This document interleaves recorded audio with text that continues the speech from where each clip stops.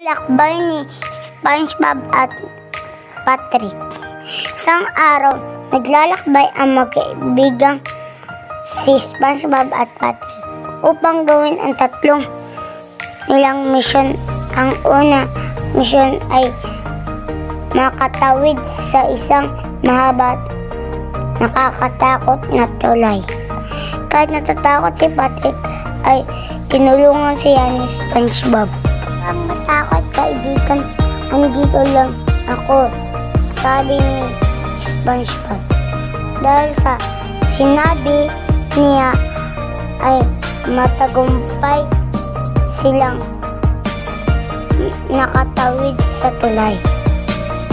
Ang pangalawang mission ay umakyat sa mataas na bundok. Napapagod na si SpongeBob dahil napaka taas nito pero binuhat siya ni Patrick.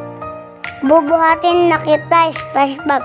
Malayo na ang abot natin at tatapusin natin ito ng magkasama, ang sabi ni Patrick. Matagumpay nila na akyat ito at papuntan na sila sa huling mission. Ang huling mission ay pagbabangka sa maalon na dagat para makarating sa kayamanan na nasa isang isla. Ngunit nagkagulo sila sa direksyon at pagsasagwan. Sa pag-aaway ay di nila napansin ang malakas na alon na paparating kaya natamaan sila nito.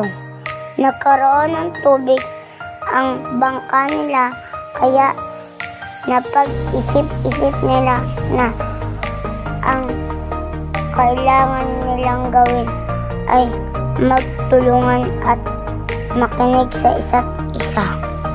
Pasensya ka na, SpongeBob. Pasensya ka na din, Patrick. Tara na, bisa na natin.